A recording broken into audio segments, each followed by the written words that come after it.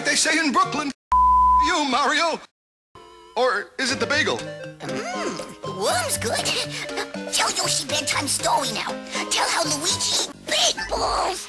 Okay, okay. Well, it all started when Mario...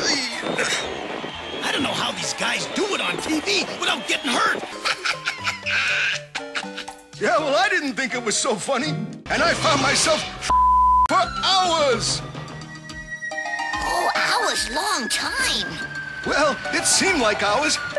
Luigi eating balls. Now, All right, wise guy. So what happened next? Princess Yoshi balls.